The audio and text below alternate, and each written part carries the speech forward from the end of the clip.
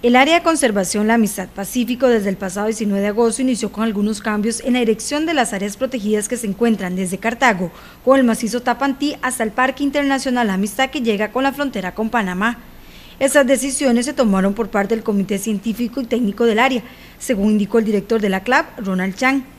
El funcionario detalló que todo inició cuando surgió la necesidad de brindar atención a la población que se encuentra en el Cerro de la Muerte y que no tuviese que desplazarse hasta Pérez Celedón para realizar los trámites tales como forestal, extracción de lana y demás.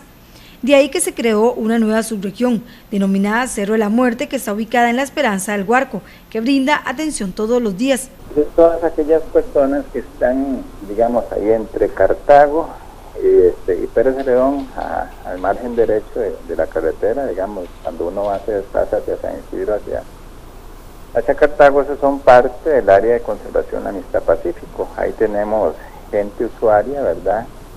De la cercana a la Reserva Forestal Río Macho, al Parque Nacional Tapantí y a la zona protectora Río Navarro y Río Sombrero. Estas personas este, y este grupo, digamos, este grupo meta, digamos, tenía que desplazarse hacia Pérez Celedón para cualquier trámite. Chang indicó que actualmente el área cuenta con 68 funcionarios laborando, desde guardaparques hasta técnicos, secretarias y demás por lo que con la creación de esta nueva unidad se tuvo que desplazar personal de diferentes áreas y se aprovechó para realizar algunos cambios, los cuales surgieron tras un análisis que se elaboró en conjunto con el comité. Nueva subregión, ¿verdad?, que se llama Cerro de la Muerte, que atiende parte de los terrenos de la Reserva Forestal Río Macho y la administración de la zona protectora Río Navarro, Río Sombrero y está con sede en la Esperanza del Guardia. Entonces, bajo este sentido, ya tenemos atención todos los días, ¿verdad? Se trasladó un ingeniero forestal, que es el ingeniero Walter Ortiz Barquero, el que está a cargo de la subregión, se trasladaron algunos técnicos, ¿verdad? En este caso, digamos, eh, dos técnicos que estaban en el caso de, de, Chiripó, ¿verdad? Para poder, digamos, atender y trasladamos a algunos funcionarios que estaban ahí en Tapantí Luego de esta decisión se da el cambio en la administración de varias áreas protegidas de la CLAP.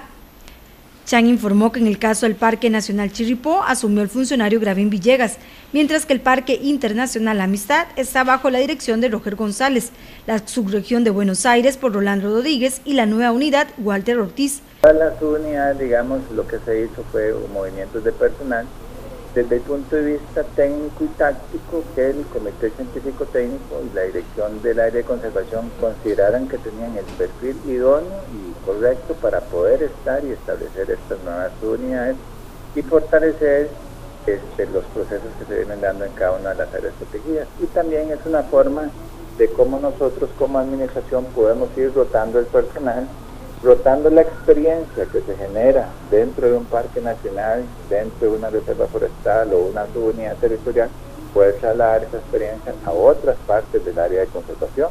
El funcionario indicó que esas decisiones son parte del proceso para dar una mejor atención en las áreas protegidas.